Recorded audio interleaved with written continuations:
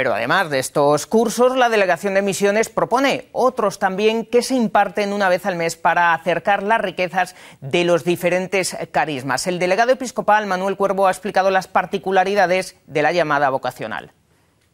Porque al final la llamada es personal. El Señor nos llama por nuestro nombre y aunque la llamada sea a seguirle, que es lo mismo, no es igual porque se personaliza en cada uno de nosotros.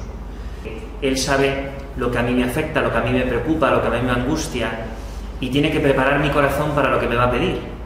Entonces, la llamada de cada uno no va a ser igual, el camino de discernimiento de cada una de las personas no es igual.